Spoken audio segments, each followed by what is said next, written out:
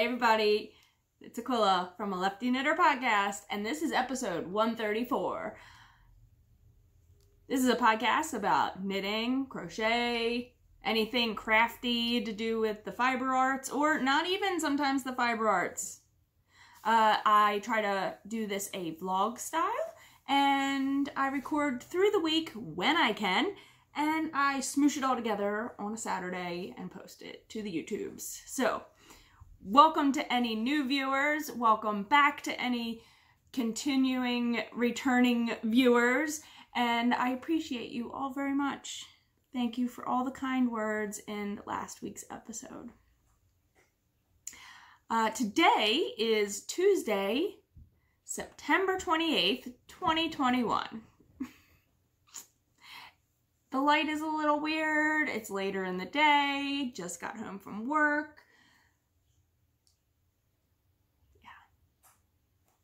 Yeah.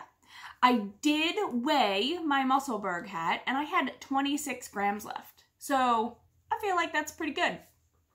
26 grams is a decent amount of yarn to do something with. I don't know what yet, but it's there. Did I mention? No, didn't. Baltimore, husband, daughters, cats, all the things. Woo! Yeah. I've changed my earrings. So I have my ears gauged. You might have seen it, not noticed, not really noticed. They're not like super large gauges, but um, Hazel now realized that I have a stash of different ones. I never, I'm terrible. I don't change my jewelry. I just don't. I just don't. But I used to, and I used to change my plugs all the time, which is the bottom one here. And she's like, Mommy, can I pick them? And I was like, Yeah. So when I'm looking at myself, it's very odd because the ones I normally wear are just plain, like black with like mar white marble looking. so every time I've looked at myself in the mirror today, I'm like, I thought I lost my earrings because they're they kind of blend in. There's not a huge contrast in my skin color. Offshoot. Sorry. oh boy. Okay. I told you guys I was going to cast on that shawl from uh, Finicky Creations called Easy Goes It. Yes, I did cast it on. I am using at Haynes House yarn in the Woods colorway. And I don't think this gives away anything from the pattern because it, or is it free? It might be free. I'll correct myself. I am on like the fifth section or something already. So I'm thinking like these last couple sections are going to get pretty big because I feel like I haven't gotten very far. Now I got to get a progress keeper to put it on there so I can show you guys. Here's the yarn. And here's the project. So it is an asymmetrical shawl. And you cast on here. Wait, is that the front? Is that the back? Let me show you the front. You cast on here and you knit, knit, knit, knit, knit, knit, and you keep knitting. So I'm here.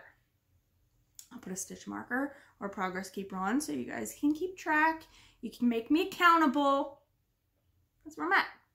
So I have a lot of yarn left. I'm pretty sure I'm now getting into like meat and potatoes of this project. It is a one skein project. I like it though, isn't it beautiful?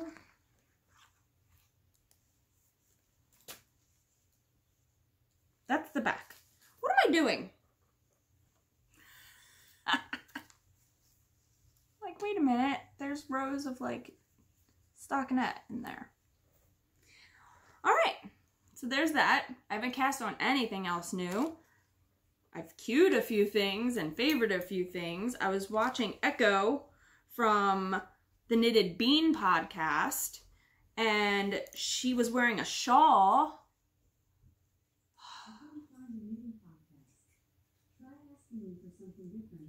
Oh. One of our other Amazon devices is named Echo.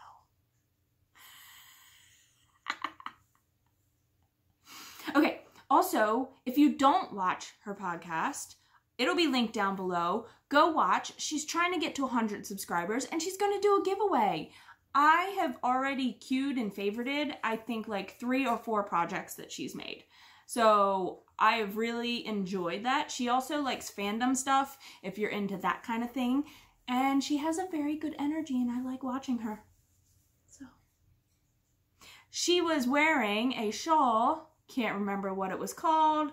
I'll put it here. It was really neat. I think it uses like short rows to create this like woo woo woo woo type shape in it.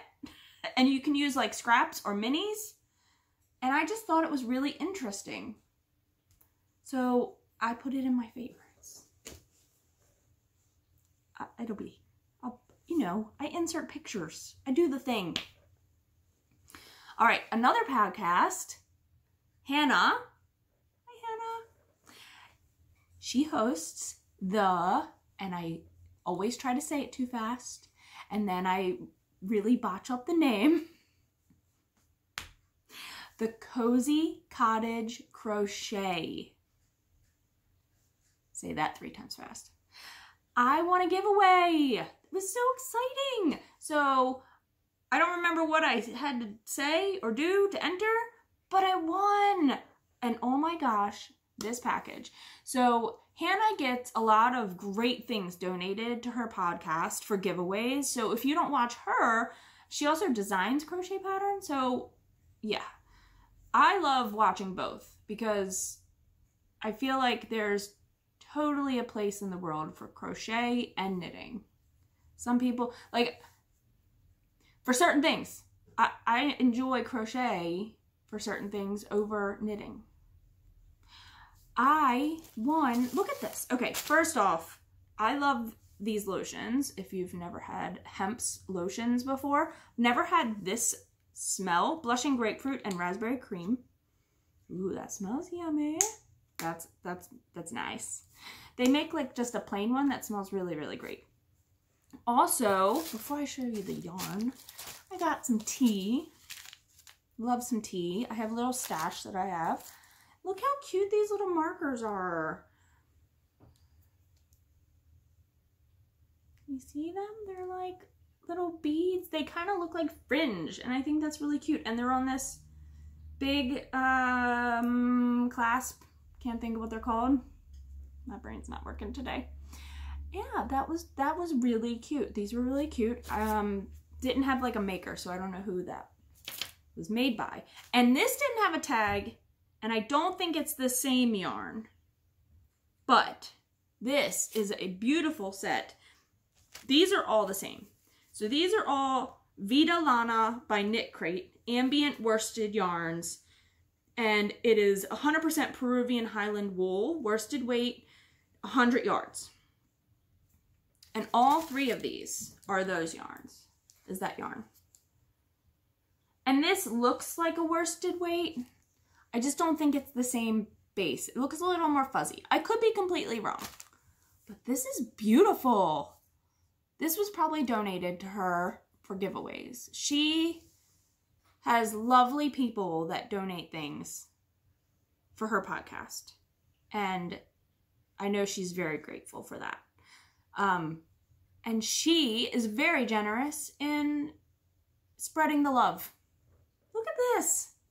I don't know what I want to make with it. Worsted weight. I mean, this could be a really beautiful colorwork hat. Tin Can Knits has a lot of like really great patterns I like, and I could probably adapt it into a nice hat. It's beautiful. Thank you, Hannah. So another one, go check her out. I put all my links down below. If there's something I don't put a link to, or you, or I, you know, whatever, please comment, please ask. I will look it up.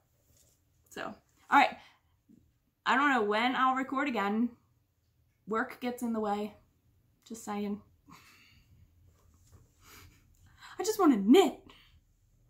All right, until the next clip. Bye, y'all. Hey, everybody. It's Thursday, and it's September 30th. I'm wearing my A Wool Gathering shirt, but I heard this interesting fact on the radio this morning, and I had to talk about it because it related to podcasting. Today is International Podcasting Day.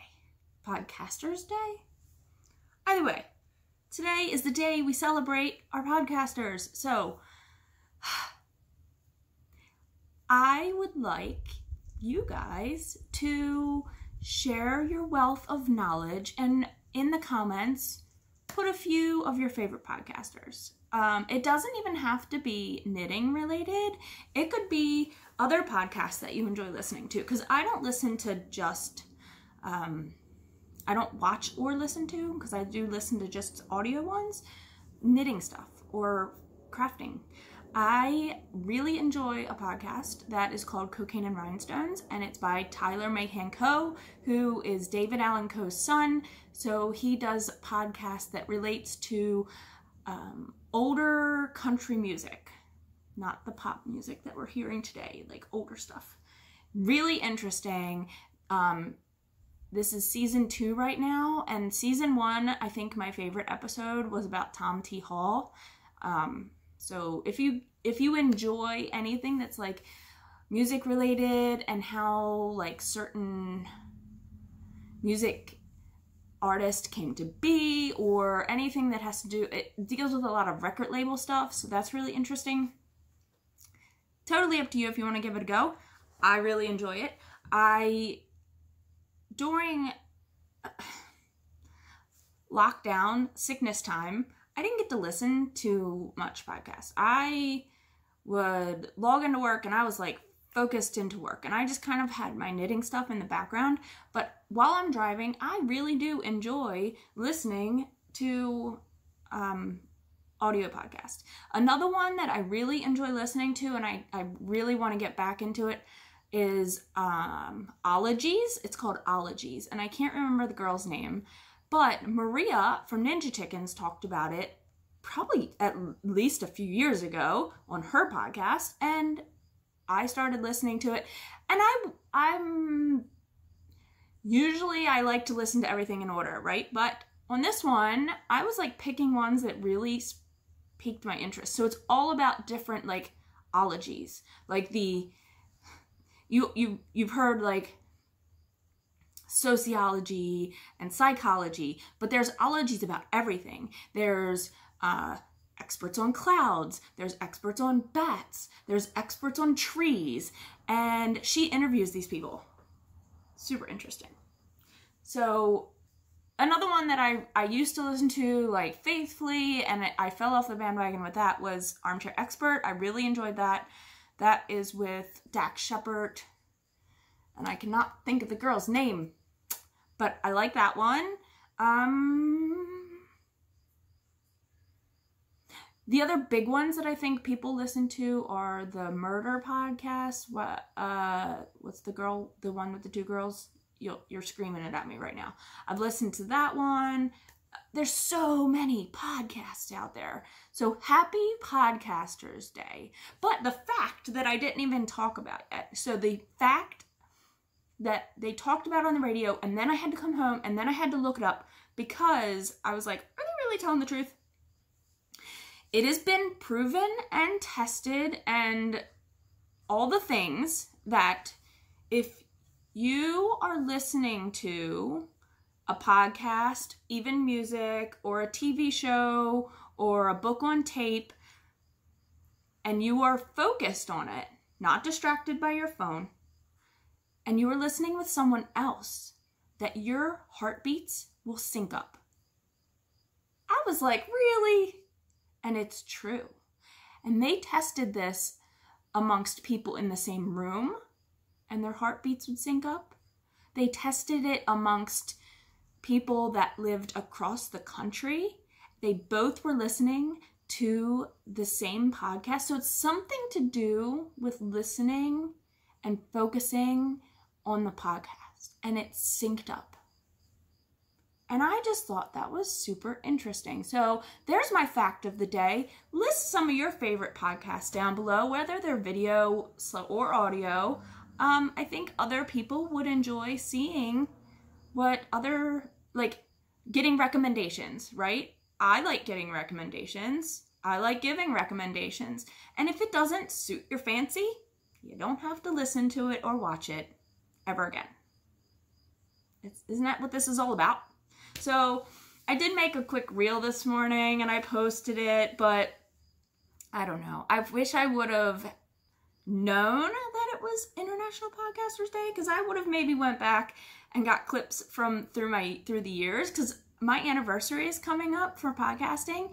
I started by doing a vlog about the Alpaca Festival, which comes up here. It's held at the same place as Maryland Sheep and Wool, and it's in November. So it's always chilly. You always get to wear your hair knits. It's not as big, obviously, but that was my first vlog. And I'm just grateful I just did it. I did it. Got to meet amazing people, whether I've just met you online or in person. It's been amazing. And so happy International Podcasters Day. And yeah, I just had to say that. I know this ha has no knitting content right now. Um, I made a little bit of progress on my, my shawl, but I'll just show you that in the last clip because I want to have as much progress as possible because it's the only thing I've worked on. so, all right, until the next clip, I hope everybody's well and yeah, happy Thursday. Well, or whatever day you're watching this. Let's round up this video. I don't even know today's date. I think it's October 2nd. And I'm crooked. Sorry. I did block my Musselburgh hat. It is totally blocked now. Did I show that? Now I'm having, I can cut this out. I don't know. Oh boy. Uh, I had 26 grams left. So, yeah, I think I said that already. I think I totally said that already. Oh my gosh, this is terrible. All right, so I am working on the Easy Goes It Shawl by Finicky Creations, I believe. And I am using At Haynes House yarns, and it's the Woods colorway at Haynes House and I've made good progress. I don't know exactly which section I am on, but I think I'm on uh, G, maybe? And this is the front side. This is how, this is where I started, and you, it's asymmetric, so it goes kind of like this. Last time you saw it, I was at where that skull stitch marker is. So from there, I've done all of this. I'm at, I'm over 100 stitches now, and it's getting pretty big. So I was a little nervous about how big it was, but it's, it's getting there. So I love the different textures that are in it. So you have a little bit of stockinette sections here. You see that? That like ridge. And then you have a little bit of lace here. And then I did a little bit more of that stockinette here. It's great. It's great. So, I received those pumpkins from Andrea, if you remember, that she made on her Addi machine. Well, totally biting off of her and I'm making some. Thanks, Andrea. Uh, so I made some pumpkins and three. I'm doing them in sets of three. Um, this set of three is for my oldest daughter. I think that she'll appreciate them. She likes fall and she likes Halloween, so uh, her birthday falls in October, so her birthday's coming. And it's a set of three pumpkins. And yes, I know, I did little black pumpkins, but look how cute it is little black pumpkins. And then, so this one is another little black pumpkin. It's hard to probably see that it has the shape. Can you see that it has the shape? There you go. They could probably be a little bit taller, in all honesty, or like, maybe I can squish it like that. Now it's a little more plump. And then a green one because I didn't want to make her an orange one. I thought she would appreciate, she likes like army green as a color in general. So yeah, that one's got a big butt. so I made these three. And I now am working on a second set for my neighbor, Miss Mo. And I made her this cute little green one. This one I did six ridges. I was doing five on all the others, but at some point I had one section that was like a little weird and extra bulbous, so I just put another section in it. And then this leaf I did a little different crochet leaf, stem, whatever you want to call it. Uh, I know you can put real stems in, but I'm not doing that. The other two have to be completed, and I'm going more with a modern color palette for Miss Mo. I was going to make this one gray, um, but I decided to go against that, and I went because I, the other two are white. So here's what it looks like not done. It's just the tube, and it stretches out, so you gotta like stretch it out if you've used a circular sock machine like this. Um, so you stretch it out, you pull these two ends in tight, you tuck it inside itself like this, and then you, it's hard to explain. Let me just kind of show you. So you take the one side and you tuck it in. So, so both of your ends are at one side. It's not going to be the greatest way to show you, but so now that you have your two ends at the top, you pull them tight. So imagine that's all gathered real, real tight. And then one of your strings from below, you pick up and go all the way around and you, before you pull it tight, you stuff it. You pull it tight and then you take your strands and you go from the under to the top. So you take a strand and you go around and then you go up through there and pull it up and pull it real tight. And then you move it and you do the next section. So I have two, and one's going to be a mini white one, and one is a bigger white one. And they will have um, this color green stems. So I thought that was a little more like modern looking, and I like that idea. Uh, so yeah, I think they'll be that'll be a super cute set. I thought the gray would have been really pretty too, two white ones and gray, because I think that's kind of like real modern looking in general. Maybe I'm using modern in the wrong... I don't know. I'm not an interior designer. I'm just a lady who likes yarn. All right, so other than that, we tried introducing Hayes to Little Shop of Horrors. Too much singing, mommy like every Disney song has movie has a ton of songs, but this had too much singing. And I'm watching it, and the little doo-wop ladies, because there's three of them, I did not, I, I recognized the one, and I was like, that is totally the girl from, oh my god, what's that show? Martin. One is Martin's wife, if you remember the show Martin.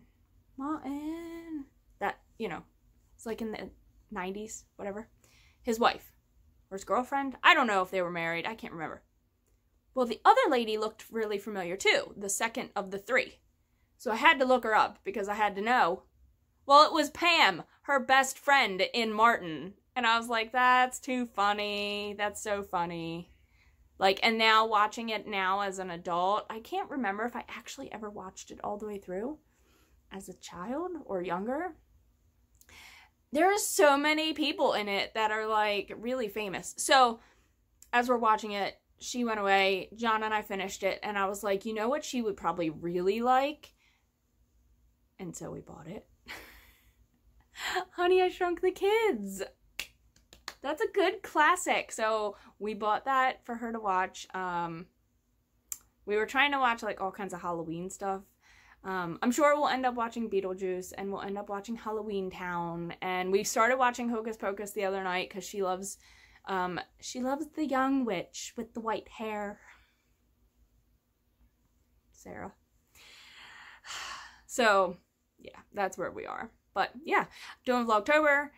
It's going. Our internet went out this morning. I wasn't sure what was going to happen, but I think we're going to be all right. And then we're going to have a shop update. So check our Instagrams for dates and times because I don't know when that'll be. But John's been working his butt off in the other room, getting it ready, uh, labeling and all that jazz. So, yeah, so keep a lookout for that too. And uh, yeah, until the next episode, I hope everybody's well. Take care of yourselves and each other and knit happy. Bye.